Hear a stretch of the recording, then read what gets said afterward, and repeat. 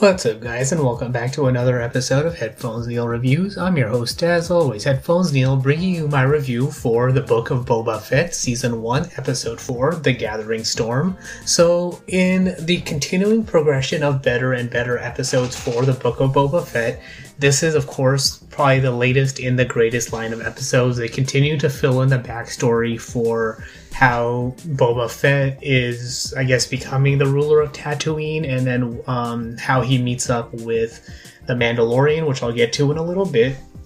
But this episode was all about how he and Fennec Shand team up. So he sees the flare that went up way back when in the Mandalorian um, during, I believe, the Outlaw episode, and Ming Na Wen's character gets attacked. He finds her takes her to a mod shop in Mos Eisley and um, basically saves her life as part of the debt that um, they agree to get repaid instead of turning her in or paying her paying him double the bounty. Um, she decides to, or she agrees to help him reclaim Slave One, which I guess is now going to be called the Fire Spray from Jabba's palace.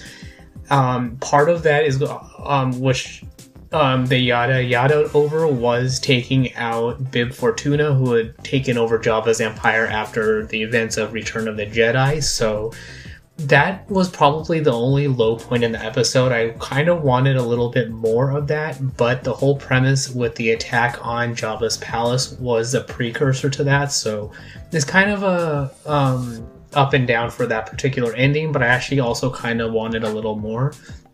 But by the end of the, end, or by I guess three quarters of the way through the episode, or maybe about halfway, um, Bib or uh, Boba is able to reclaim his ship and um, take off. He does acknowledge it's a bit rusty, but the advantage to him being considered dead is that he can perform all the repairs himself and get away with a lot of stuff.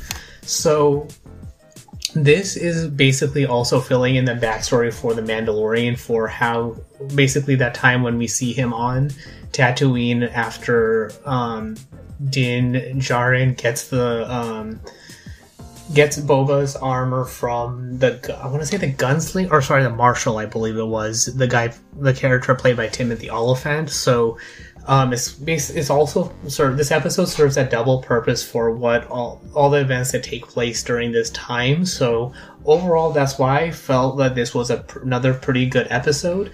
Um, along the lines with various callbacks, I liked that the cooking droid that at first attacks um, Boba and Fennec in the kitchen is basically a low rent version of General Grievous. So he well, he moves from chopping uh, vegetables to an attack stance with the spinning knives, very reminiscent of Grievous. So either they know about it, has similar programming, or um, Bib Fortuna took knew about um, Grievous's attack programming and downloaded it into this droid. So I thought that was a nice little touch.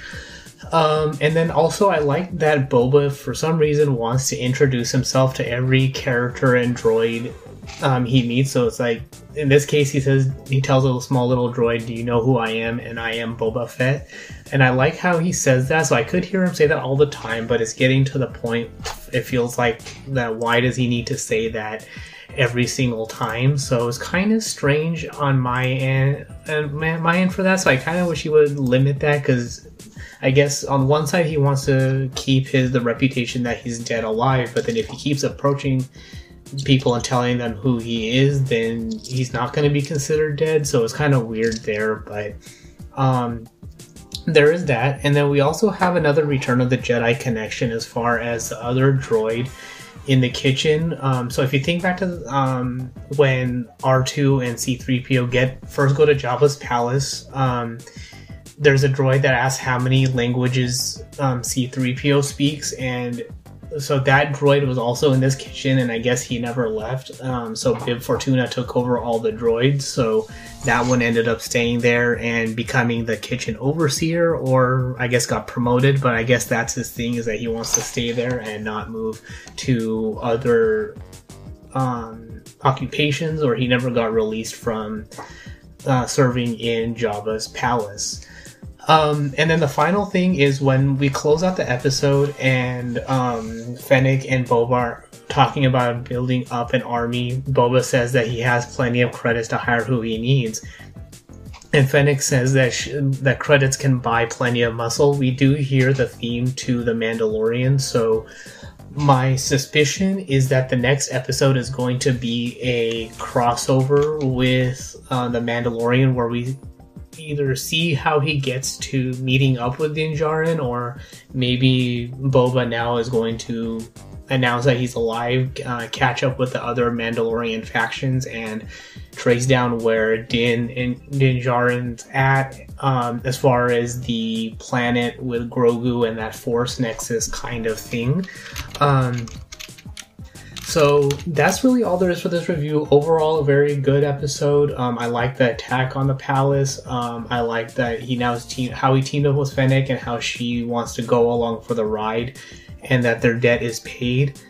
Um, and also the tone he takes with Fennec as far as her wanting to consider the debt paid, and she, he says, "If that is what you wish," is very reminiscent um, of when he of the Empire Strikes Back when Vader says, "No disinter- no disintegrations," and Boba says, "As you wish." So a very similar tone there. So I liked that little bit of um, callback. So all in all, a good episode. I, so it's really coming to the point where the first episode was probably really the weakest of the series, but they're continually progressing the story um, and filling in all the information to the point where it all is coming together and it's not as bad of an episode as I thought. So um, that is all there is for this particular review. So if you have any questions, feedback, what you like, didn't like, is there something I missed as far as an Easter egg or um, anything like that, you can find a comment on this post on Twitter at PatelN01. The website is headphonesneil.reviews for past episodes, subscription links, supporting the show, and all of that good stuff. But thanks for tuning into this particular episode, and until next time.